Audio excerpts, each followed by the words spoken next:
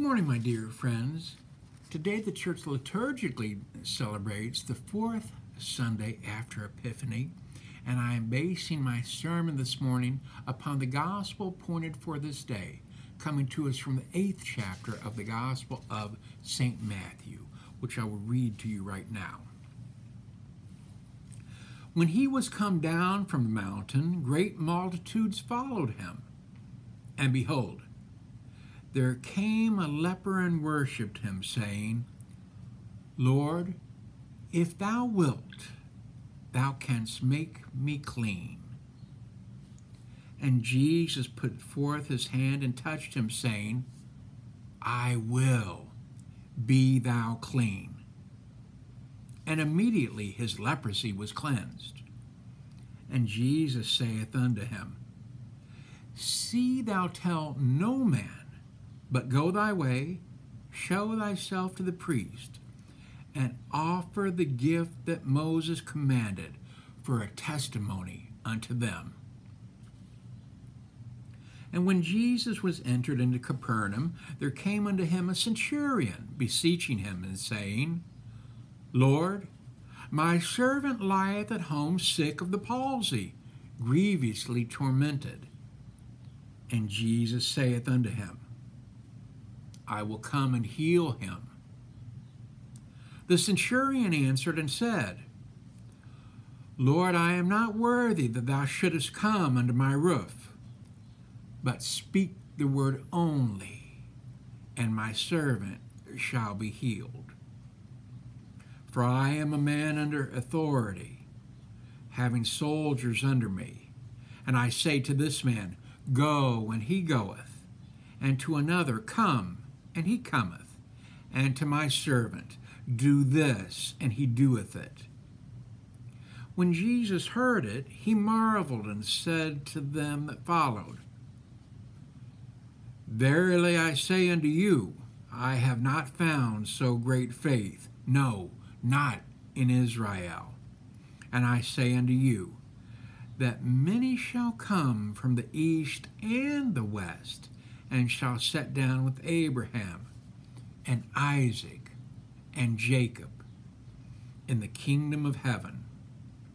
But the children of the kingdom shall be cast out into the darkness, and there shall be weeping and gnashing of teeth. And Jesus said unto the centurion, Go thy way, and as thou hast believed, so be it done unto thee and his servant was healed in that self same hour. Here endeth the gospel. Praise be to thee, O Christ. In the name of the Father, the Son, and the Holy Ghost, my dear friends in our Lord Jesus Christ. Here in this eighth chapter, this section of the eighth chapter coming to us from St. Matthew, which I just read to you, we hear again, primarily in this section, the faithfulness, the confidence of the centurion in our blessed Savior. Now, bear in mind, as St. Matthew tells us, as our blessed Lord entered into Capernaum, he was approached by a centurion. In other words, a centurion was a, a soldier. He was a soldier of the Legion of Rome there as occupiers in Capernaum. Here was someone who was a Gentile.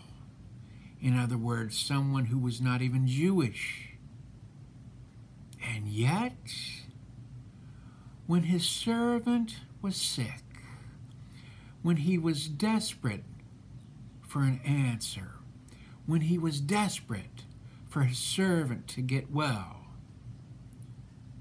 The centurion, the Gentile, the pagan, the soldier of Rome came to the one that he knew could get the job done and heal his servant.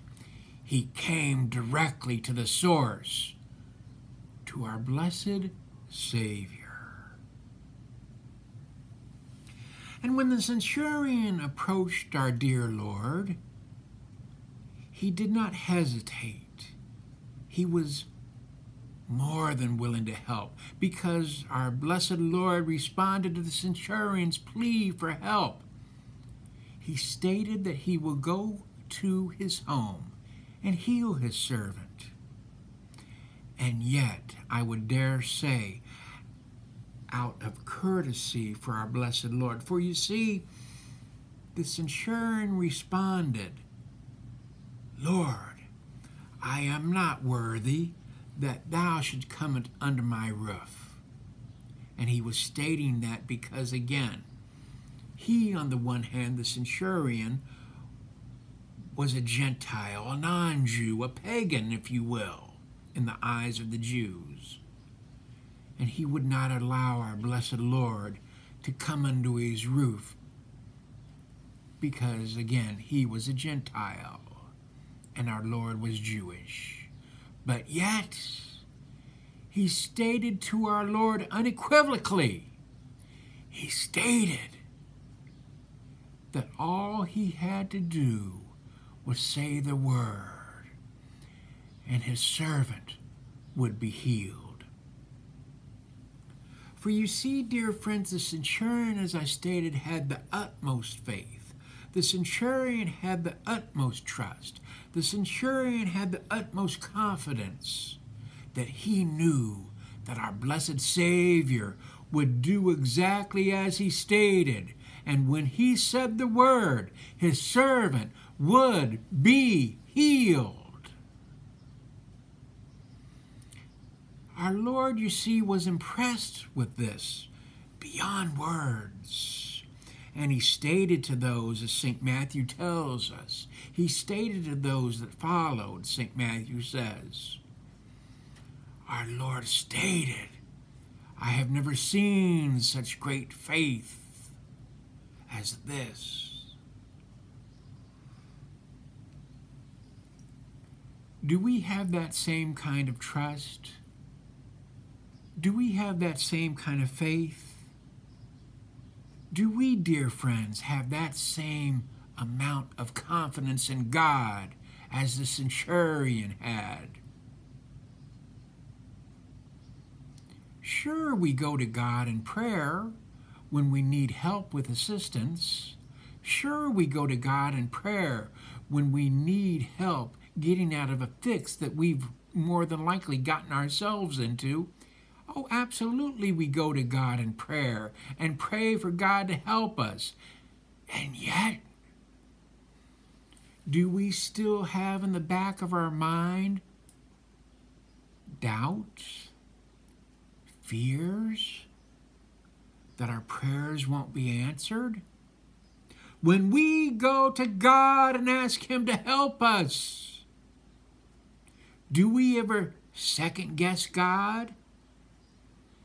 For you see, dear friends, typically speaking, when we go to God and ask Him for help, so often it seems that really we're going to God we're asking for help, and yet we're really telling God to give us what we think we need. We're asking God to give us what we think is best for us. We're asking God to do what we want.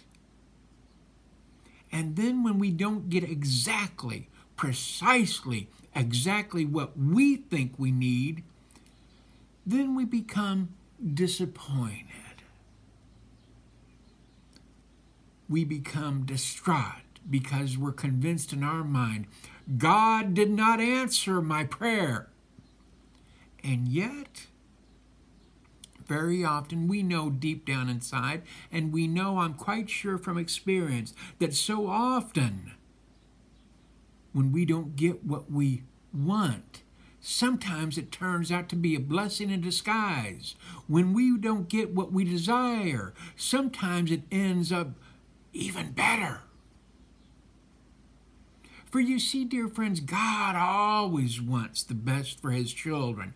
God always wants the best for us. Isaiah chapter 41, verse 10, we hear the following Fear not, for I am with thee. Be not dismayed, for I am thy God. I will strengthen thee, yea, I will help thee. Yea, I will uphold thee with my right hand of my righteousness. You see, dear friends, God, as Isaiah reminds us, God is always with us. And we need to be like the centurion in our trust, in our confidence, in the surety of our faith.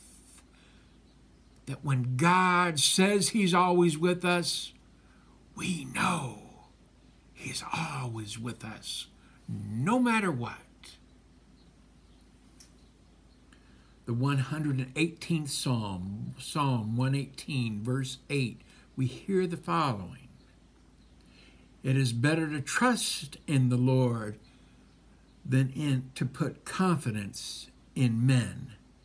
It is better to trust in the Lord than to put confidence in princes. So often, dear friends, we do just that, don't we?